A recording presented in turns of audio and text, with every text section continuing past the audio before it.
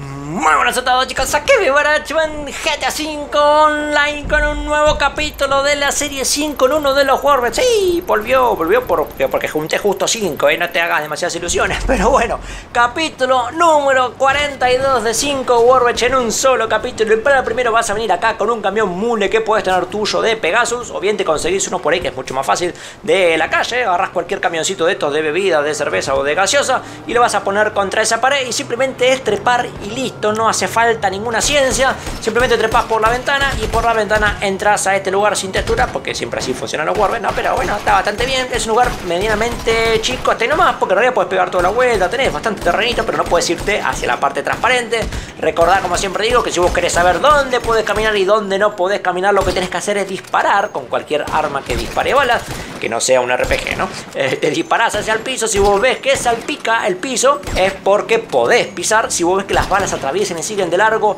En cuanto pises ahí, te vas a caer al abismo sideral. Vas a ir al inframonto de GTA, te vas a caer abajo del mapa y de nada, vas a responder en la parte de arriba. No te va a pasar nada, pero vas a salir del Warbench. Así que, como pasa acá, ves que saltaron y puff, desapareció porque se fue para abajo del mapa. Así que ahí está. Y acá tenés también este terrenito que según cómo vengas puedes pisar o no. Así que ahí está el primer Warbench del día de la fecha. Bastante lindo, bastante sencillito, bastante práctico porque el mule ese lo conseguís al toque, lo conseguís ahí. Si no lo conseguís, recordad, si ya lo tenés comprado, no sale mucho, lo puedes comprar tranquilamente, lo pedís por Pegasus y listo. Y acá, como te digo siempre, ves que allá tengo paracaídas, te lo pone por defecto, digamos, no lo actives, es muy tentador cuando estás cayendo apretar el paracaídas, no lo actives porque lo vas a malgastar, si total vas a aparecer del lado de arriba, así que ahí tenemos el Hong Palace, en un hotel, no sé, una cosa así. Así que ahí vamos. Para el segundo tenemos eh, un Warwatch en donde requerimos de hacer el famoso y querido glitcheo que estuvimos utilizando últimamente de romper todo el Insurgent, las puertas, incluyendo la puerta de atrás. Que acá está la complejidad que tiene este Warwatch.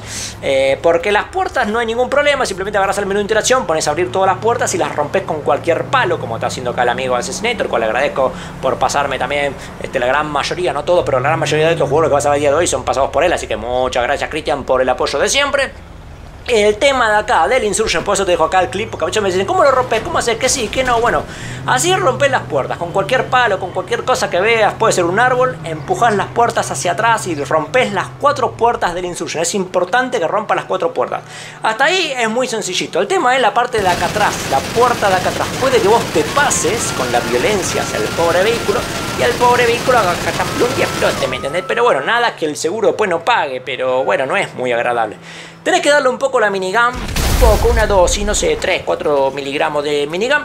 Le das un buen eh, bazucazo con el teledirigido, también uno, uno, a lo sumo dos, no más que eso, un headshot bien puesto en la puerta, ¿ves? Ahí acá le dio creo que dos. Este, y a veces por ahí un toque de C4 también, un toque cariñoso de C4, así como es como la receta mágica para poder abrir la puerta. Y ahí como verás, pum, se abre y se cae. Eh, cuesta, cuesta, por lo general son un poco de minigun uno o dos bazucazos del teledirigido, no el, no el RPG común, sino el teledirigido, no sé por qué con el teledirigido funciona más. Y después le das unos disparos de costado, chau, o un buen C4 bien puesto y con eso terminas de abrir la puerta. Si te pasaste, no pasa más nada de que el auto explota por, los aires y listo, como te decía, pero bueno, llamas al seguro y lo recuperas, tampoco la muerte de nadie, tampoco es tan caro recuperar el Insurgent, pero bueno, viste que. Y lo que vas a hacer es ponerlo contra esta pared de este local de comidas. Así que lo pones ahí y listo. Yo voy a adelantar acá la toma, vamos a reiniciar, voy a hacer... Y ahí está, y se va a mover. Como verás, ya se me hizo de noche, porque estuvimos haciendo varias pruebas. Este, así que esta es la ubicación del mapita, pues lo había mostrado antes, acá es donde tenés que venir, este es el local de comida, yo acá tengo ya la Insurgent destrozada y lo que vas a hacer es, como hicimos todas las veces, simplemente entrar, te aconsejo tener un arma en la mano para poder entrar con más eh, facilidad y te vas a transportar bien al lado derecho. ¿Qué te puede pasar? Varias cosas. Punto uno, una catapulta como pasó acá, que ya lo hemos visto en un glitcheo ya en un capítulo anterior, que con Insurgen con estas condiciones, lo pones en cualquier pared que se te cante de los santos y te va a hacer por lo general una catapulta. Pero, pero, si esa pared tiene la particularidad de tener un wallbridge, en vez de mostrarte la catapulta, te suele entrar al wallbridge, que para eso funciona estas cosas, ¿me entendés? Si hoy es 5 en 1 de wallbridge, claro, ahí está. Entonces, lo que haces es entrar acá, entras a la cabina, mattina. Sí, son dos pasos, primero entras a la cajuela, después entras a la cabina, y si el personaje quiere, que en este caso no quiso, vas a poder entrar al Warrior. Yo te juro que hoy, hoy te lo muestro, antes que llegue el 2018 yo este coso te lo muestro. a la tercera la vencida, vos habrás escuchado la frase, ¿no? Que la tercera es la vencida, nunca entendí por qué la tercera es la vencida y no la segunda o la cuarta, ¿no? Pero bueno, la tercera es la vencida, vas a entrar a la cajuela, así cuando entras a la cajuela ahí se va a buguear, volvés a trepar a la cabina, ahí te volvés a buguear, y ahora sí, apuntando, vas contra la pared, duro y parejito, así despacito, y puff, cuando las texturas quieren vas a entrar, mira qué lindo que Ahí estamos. Ahí estás. Entonces adentro del local de comida que te vas a quedar con la gana de comer la comida porque está todo sin textura dentro del juego, pero básicamente el concepto sería ese, entras al, al, Burger Shot, igual lo no es Burger Shot igual este local, pero bueno, al local de comida rápida o comida lenta que tenga GTA 5 en el modo historia. Y la verdad que, qué sé yo, está bastante bien. Guarda acá con este pedacito que acá te va a sacar, tenés que pegar un saltito. Ahí está, no es ninguna ciencia, pero tenés que pegar el saltito, avivate, porque si no te vas a caer. Y como verás, podés disparar. Siempre te digo, seguro, sea, vos entras a un Warbench y no te deja. Ahí yo salí, ya lo vete porque caminás y te fuiste. Este, pero si vos ves que no te deja disparar, probá siempre la no scope o probá de última con un rifle pegado, bien pegado contra la pared. Lo pasa que acá si te pegas contra la pared te salís. En este particular, por eso te dejaba salir, eh, disparar directamente desde adentro, sin no scope, sin nada, disparás y ya está. Pero bueno, te digo para los próximos Warriors que sepas cómo hacer y cómo no hacer. Así que ahí estaban los dos primeros. Este es el tercero. Este si no recuerdo mal me lo pasó el amigo Tonet. Así que muchas gracias señor Tonet por pasarme este Wallbridge. Este está muy bueno, estamos acá en la playa. Hemos pasado un montón de veces por acá y este nunca lo hicimos, es una cosa bastante rara. Vas a necesitar de un Insurgent, acá sí hace falta que tenga las puertas, no hay ningún problema, un Insurgent. Cualquier camioneta pesada, grande que venga, va a estar perfecto. Esta es la zona donde tenés que venir, ahí nomás está el, charquito ese con forma de pica, ¿viste? Bueno, ahí nomás, al lado del pier, al lado del muelle.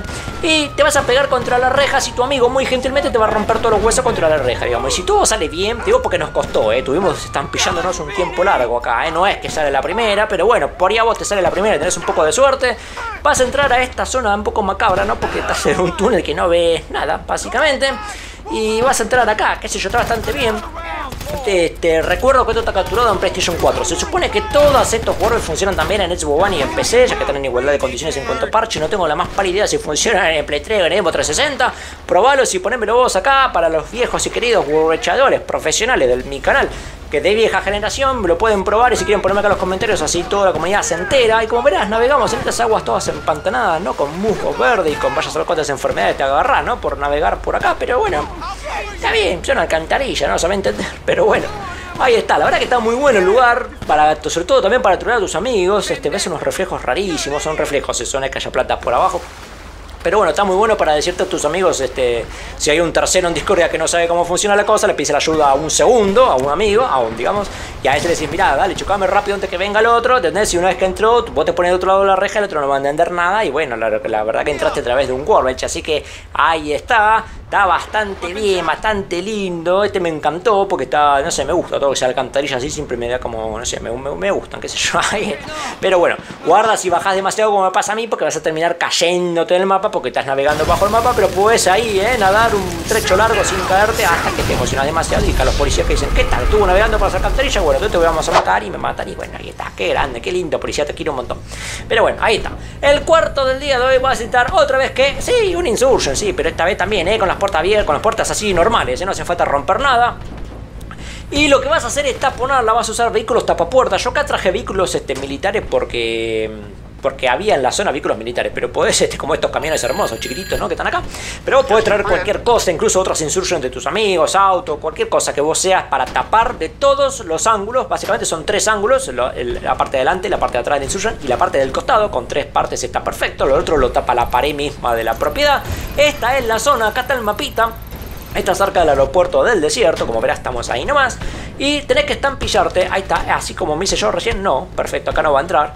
Va, a ser una magnia, fíjate, me da, ups, pero no, pero sale de lo de afuera dice, esta vas a entrar, ah, Tenés que hacerlo bien. Ahora vas a ver, yo voy a... Para que me tengo este pentorcho que me está ahí quilombando la vida. Ahí estamos, qué lindo. Vamos a agarrar el Insurgent. Y tenés que ponerte más que nada al lado del motor. Acá, en esta parte. Ahora vas a ver que caigo. De acá caigo para abajo. Y ahí de abajo hago puff. Y ahí entré al Warbench. Es un poco complicado. Acá también tuvimos un tiempo interesante para hacerlo.